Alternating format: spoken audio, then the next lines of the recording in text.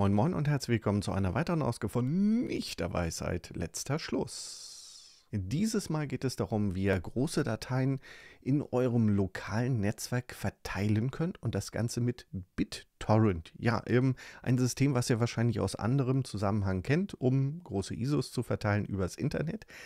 Aber das Ganze kann man lokal auch verwenden, um dort große Dateien zu verteilen. Erstmal grundlegend, was BitTorrent so macht, im Gegensatz zu anderen Kopiervarianten wie äh, lokale Webserver, von dem alle was runterladen oder mit SCP von einem Rechner auf den anderen was kopieren. Der Witz an BitTorrent ist, dass Clients untereinander äh, bereits heruntergeladene Teile austauschen von Dateien. Also wenn jetzt Client A schon äh, den Anfang hat, kann Client A diesen Anfang an äh, Client B, C und D weitergeben und vielleicht hat B äh, von dem Originalserver schon den nächsten Teil runtergeladen und dann äh, tauschen die es untereinander aus. Bei den meisten Netzwerken ist es wahrscheinlich relativ egal. Da habt ihr ein zentrales NAS, was gut genug angebunden ist und von dem zentral alle Daten runterlesen bzw. dorthin schreiben. Wenn ihr jetzt aber wirklich große Daten habt und auf wirklich viele einzelne Rechner eine Datei verteilen wollt, dann ist es durchaus praktisch, das über BitTorrent zu machen oder über ein anderes Protokoll, was äh, untereinander zwischen den einzelnen Teilnehmern vermittelt und dass dort Teile ausgetauscht werden. Denn der limitierende Faktor ist ein langsames Netzwerk. Das ist natürlich wiederum Definitionssache. Bei mir kommt das Ganze aus einem M23-Projekt, wo es ein 100 Mbit Netzwerk gab und äh, die einzelnen Rechner, die innerhalb von diesem Netzwerk waren, sollen ähm, eine 30 Gigabyte Datei runterladen. Wenn man das jetzt machen würde von einem zentralen Server, ist man da mit sehr vielen Stunden mit dabei, alleine fürs Runterladen. Wenn man jetzt aber die einzelnen Clients, die einzelnen Rechnerteile austauschen lässt, dann haben diese von jedem Punkt im Netzwerk, also jeder Rechner, von jedem Rechner zu jedem Rechner, bestehen diese 100 Mbit. Ansonsten müssten sich alle Rechner diese 100 Mbit zu einem Server teilen. Also die Bandbreite ist für den Einzelnen deutlich geringer. Wenn äh, die allerdings Teile untereinander austauschen, dann äh, ja, ist, diese, ist diese Limitierung nicht so groß, weil sie Teile austauschen können. Der limitierende Faktor dabei ist der Switch, der auf jedem Port den 100 Mbit hat, aber wirklich von jedem Port zu jedem gibt es 100. Also von daher mit so einer Lastverteilung äh, geht das Ganze deutlich schneller. Dann haben wir als verschiedene Teilnehmer an diesem System, wir haben einmal hier den ursprünglichen Sender, also der als erstes die Originaldatei in der vollen Größe mit allen Blöcken hat. Der nennt sich Seed, also Sender, da, von dem aus das äh, ausgeht, das Ganze. Und dann haben wir nachher Peer, also das ist jeder Client, der an diesem BitTorrent-Netzwerk teilnimmt, also der Teile runterlädt von einer Datei und auch wieder anderen äh, zur Verfügung stellt. Und wenn jetzt so ein Peer, ein Client, alle Teile von der Datei zusammen hat, kann er die auch weiterhin an die anderen verteilen. Also der Download-Prozess ist für den zwar durch, aber er verteilt weiter. Dann wird er automatisch zu einem Seed. Dann haben wir als Komponente zum Verwalten einen ja, Server, einen Tracker im Netzwerk, der die Liste mit den verschiedenen Peers, die daran teilnehmen, speichert und anderen zur Verfügung stellt und ähm, ja, genau, da, da, fragen die einzelnen Clients, die Peers an, wer hat diese Datei? Und dann äh, wird gesagt, ja, äh, Client A, B und C hat die. Und dann holt euch die mal von dort. Und der Rest läuft untereinander zwischen den einzelnen Peers, ohne dass der Tracker noch weiter verwendet wird. Dann haben wir noch eine .torrent-Datei. Das ist so eine Index-Datei, in der die Adresse von dem Tracker drinsteht. Das kann eine IP-Adresse sein oder es kann ein auflösbarer Hostname sein, ein fully qualified Domain Name oder äh, ja, irgendwas anderes, was sich auflösen lässt. Und da drin stehen auch die einzelnen Dateien, die Datei oder Dateien, es können auch mehrere sein, Prüfsummen und das auch über mehrere Blöcke da drin. Also diese ursprüngliche Datei, die wird so in Häppchen aufgeteilt und über jedes Häppchen wird eine Prüfsumme gemacht. Und in dieser Torrent-Datei werden diese einzelnen Häppchen Prüfsummen abgelegt. Und natürlich steht auch drin, wie groß die ganze Datei nachher ist, beziehungsweise die einzelnen Dateien, dass man auch hinterher sehen kann, dass alles korrekt übertragen wurde. Damit wir damit überhaupt loslegen können, brauchen wir erstmal eine Torrent-Datei und die kann man zum Beispiel mit BitTorrent erstellen. Das ist so ein kleines Kommandozeilenprogramm und dort haben wir als Parameter minus a, das ist announce, da geben wir die URL von unserem Tracker an, also eine IP bzw. einen auflösbaren Namen, dann den Port, äh, eine Portnummer, die wir ja, frei festlegen können. Die müssen wir uns aber merken, denn die brauchen wir später noch. Und bei dem Tracker, den wir verwenden werden, kommt dann noch Schrägstrich Announce hinten dran. Und daraus setzt sich dann die ganze URL zusammen. HTTP, Doppelpunkt, Schrägstrich, Schrägstrich am Anfang. Und dann geben wir eine Liste von Dateien an oder nur eine Datei und hinterher, wie die Torrent-Datei heißen soll, unser Index. Da haben wir einen Namenbestandteil, den können wir frei wählen und die Endung sollte .torrent sein. Ja, und unter Debian heißt das Paket BuildTorrent, genauso wie das Programm selbst. Der Einfachheit halber habe ich das bei M23 so gemacht. Also M23 läuft sowieso auf einem Webserver, die Admin-Oberfläche und auch wie Skripte für die M23-Clients erstellt werden. Und von daher habe ich dort eh einen Webserver. Da lege ich auch diese Torrent-Dateien ab, damit die Clients diese Torrent-Datei darunter laden können. Und das ist ein relativ einfacher Weg, um diese Dateien zu verteilen. Unabhängig von M23 könnt ihr natürlich irgendeinen Webserver installieren, also Nginx, Apache, Caddy und dort die Torrent-Dateien ablegen und dann könnt ihr die über den Client, der gleich auch noch kommt, ähm, die Dateien direkt in einem Aufruf herunterladen von dem Webserver und dann wird der Torrent auch gestartet. Also macht das Leben einfach, ihr könnt es natürlich auch anders machen. Bei einem Debian-System gibt es keinen richtigen BitTorrent-Tracker mit dabei oder irgendwie nichts, was mir gefallen hat oder was in meinen Testszenarios wirklich funktioniert hat. Darum habe ich geguckt, was es so gibt und bin dann auf den Open Tracker gestoßen. Da könnt ihr hier auf die Projektseite drauf gucken und da es nicht im Paketsystem mit drin ist, müssen wir Quelltext unterladen und selbst kompilieren. Ist jetzt keine großartige Sache. Ich habe das hier mal so ein bisschen zusammengefasst. Und ähm, ihr könnt auch auf die Seite drauf gucken. Da ist es so ein bisschen weiter erklärt, wie das funktioniert. Also was ich hier jetzt mache, ich habe so ein Skript gebaut. Als erstes definiere ich mir ein temporäres Verzeichnis, in dem das ganze Zeug gebaut wird. Da werden die Quelltexte runtergeladen und da wird kompiliert und äh, ja, genau, das kann man hinterher auch wegschmeißen. Also beziehungsweise mein Skript hier schmeißt das Verzeichnis auch hinterher weg, nachdem das durchgelaufen ist. Für den Open Tracker können wir Optionen setzen und ich habe jetzt hier einmal das genommen, damit ich eine Whitelist übergeben kann. Eine Whitelist ist eine Datei, in der Hashes drinstehen für Torrent-Dateien, die ich überhaupt mit meinem Tracker verwalten möchte. Ansonsten könnte es sein, dass irgendjemand diesen Tracker verwendet und darüber andere Torrent-Dateien äh, verwalten lässt. Und das will ich nicht. Also ich will wirklich ähm, beeinflussen können, welche Torrent-Dateien mein Tracker verwaltet. Also äh, sehr diktatorisch das Ganze. So möchte ich es gerne haben. Dann möchte ich auch noch Kompression zwischen dem Tracker und den Clients, also den Peers. Und ähm, hierüber lege ich auch noch fest, dass man keine Statistiken ähm, allgemein verfügbar runterladen kann. Ansonsten kann man den Tracker wohl irgendwie fragen, äh, liste mir mal auf, welcher von den Clients was gerade verteilt oder so irgendwas. Und das möchte ich nicht, das brauchen wir auch nicht. Also von daher deaktiviere ich das so weit, wie es geht. Dann lege ich hier dieses temporäre Verzeichnis an und wechsle da gleich mal rein. Und dann brauchen wir diese äh, Bibliothek Libofet.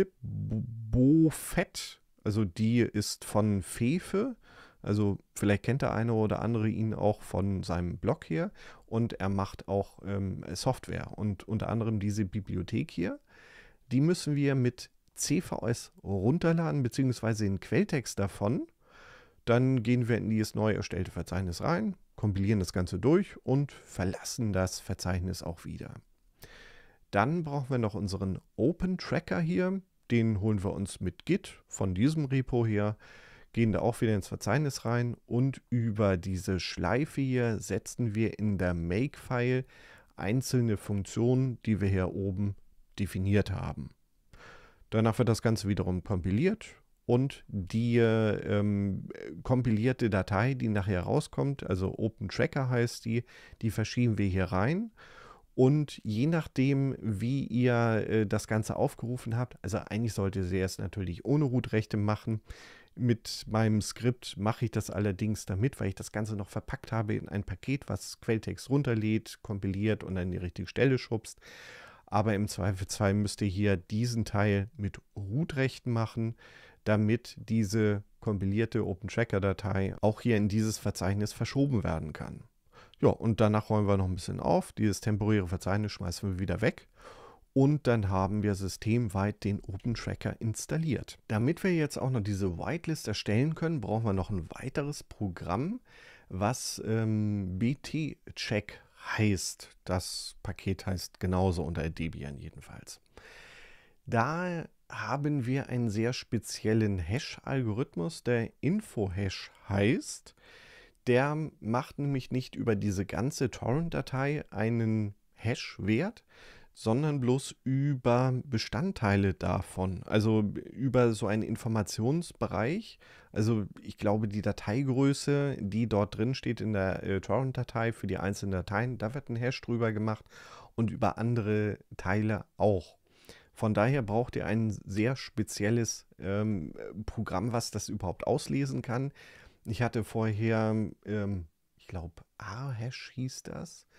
Äh, da gab es auch so eine Option, um diese Info-Hashes anzulegen. Aber der Wert war falsch. Also der wurde falsch berechnet. Äh, hat nicht funktioniert. Von daher solltet ihr wirklich hier BT-Check nehmen. Das aus dem äh, BitTornado-Projekt gibt es insofern nicht mehr. Das ist eingestellt worden. Das hatte ich sehr viele Jahre vorher in M23 auch drin. Das hat immer super funktioniert. Aber es gibt es nicht mehr.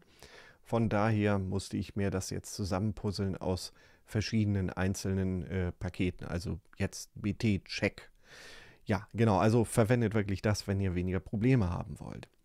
Und BT-Check muss man mit jeder einzelnen Torrent-Datei einmal ausführen.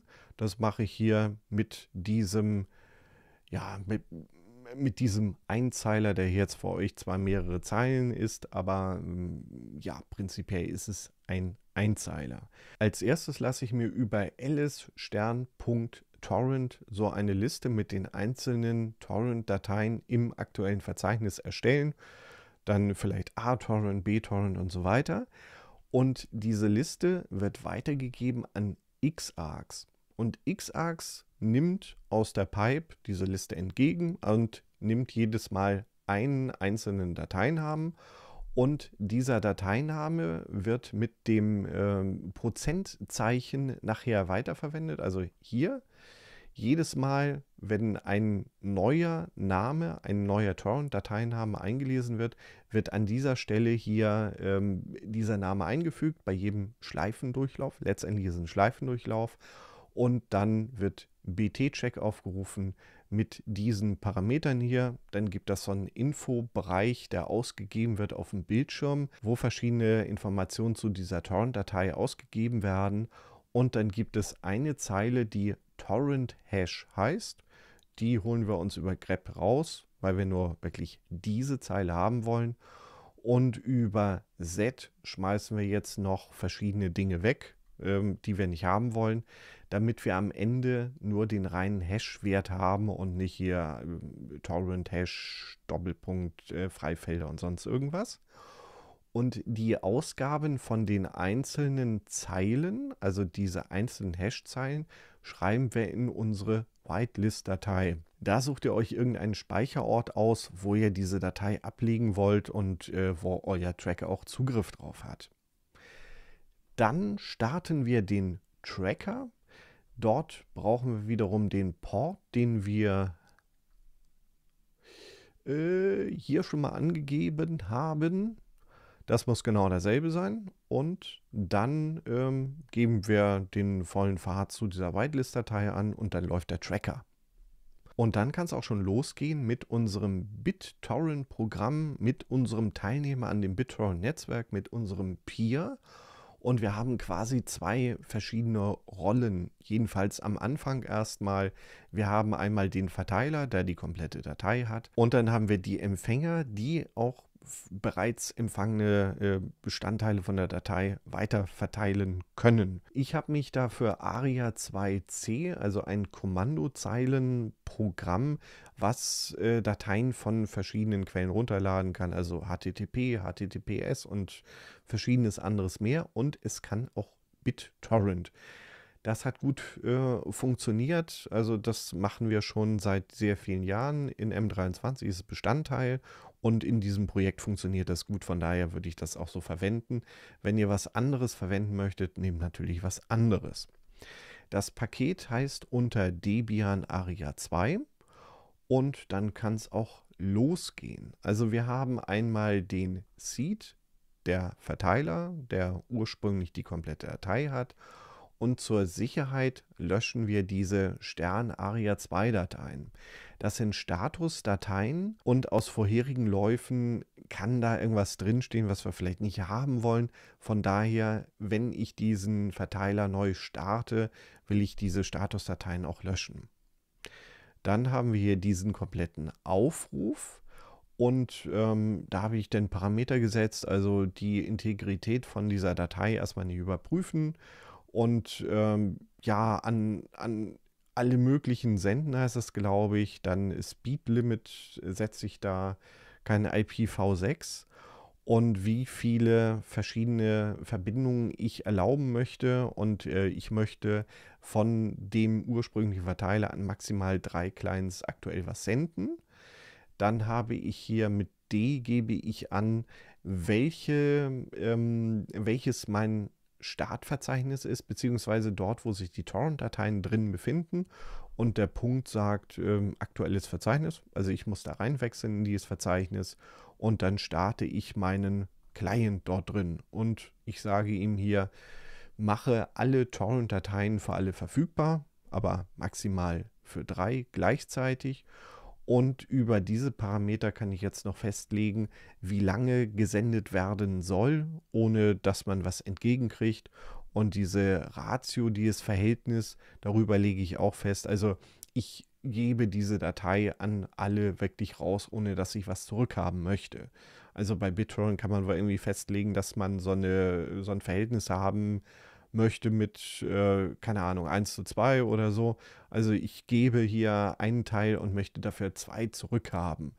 Weil ich ein ursprünglicher Sender dabei bin, äh, will ich das ja gar nicht haben. Also ich äh, gebe alles raus, was nur geht. Für meine Peers sieht das relativ ähnlich aus. Als zusätzlichen Parameter habe ich hier noch Allow Override, wenn jetzt zufälligerweise eine Datei schon angelegt sein sollte aus einem vorherigen Lauf von ARIA 2C und da ist irgendwas schiefgegangen oder ja, keine Ahnung, der Client wurde abgebrochen, der Rechner wurde neu gestartet und die Datei ist äh, irgendwie so halb stecken geblieben, sage ich hier drüber, dass die Datei auch wieder komplett überschrieben werden kann, wenn ich ARIA 2C das nächste Mal starte. Also vorhandenes Zeugs darf schon weg. Dann wiederum verteilen an maximal drei gleichzeitig. Dann gebe ich hier noch wiederum das Zielverzeichnis an. Je nachdem, wie ich diesen Aufruf mache, kann ich jetzt hier ein äh, komplett anderes Verzeichnis angeben wo die Zieldatei gespeichert werden soll oder die Dateien. Und dann kommt hier noch die HTTP-Adresse zur Torrent-Datei. Da brauchen wir wiederum den Webserver. Und dann wird diese Torrent-Datei runtergeladen, wenn ARIA 2C gestartet wird. Und dann geht es auch schon los mit dem Runterladen und wiederum verteilen. Und hier habe ich wiederum genauso diese Verhältnisse, also alles, was mein Client hat, soll er auch sofort wieder weiter verteilen, ohne dass er äh, darauf äh, pocht, wieder was zurückzukriegen. Also da gibt alles raus, was nur irgendwie geht. Ja, das ist es denn auch. Soweit ich hoffe, es hat euch wiederum geholfen, dass ihr vielleicht äh, nochmal wieder eine andere Variante gefunden habt, wie ihr große Dateien innerhalb von einem Netzwerk verteilen könnt. Das bringt wirklich sehr viel, wenn ihr ein langsames Netzwerk habt und insofern Lastverteilung unter einzelnen Knoten machen könnt weil äh, zu einem zentralen NAS oder so die Verbindung sehr limitiert ist. Also das ist ja quasi 1 durch n, also die Bandbreite durch Anzahl der Teilnehmer, die gleichzeitig darauf zugreifen. Und insofern könnt ihr theoretisch, wenn nichts anderes da widerspricht, die volle Bandbreite von eurem Netzwerk ausnutzen. Und das skaliert wirklich sehr gut. Haben wir gemerkt in diesem Projekt, das klappt wirklich super. Ansonsten macht es nach oder lasst es bleiben. Ähm, abonnieren, äh, Glocke drücken und bis dann und tschüss.